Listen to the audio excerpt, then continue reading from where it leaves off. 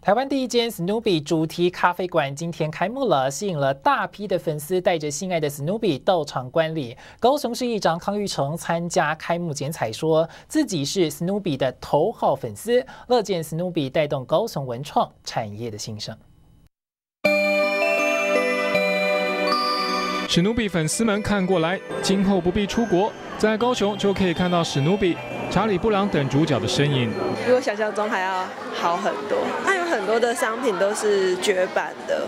对，然后就会勾起小时候很多的回忆。从天花板、墙面、橱窗，到处看得到史努比漫画人物，蛋糕也是漫画人物图案，制作很精致，可爱程度破表，让人舍不得吃掉。我们希望把这样的场地呢，当成在高雄地区的文创艺文的基地，也就是喜欢艺文活动或者欢乐的朋友们都可以来跟我们接触哈。我很乐见有这样子的呃店在高雄，除了带给人民欢乐以外，也带动高雄各种文创产业的兴盛。头号粉丝康玉成，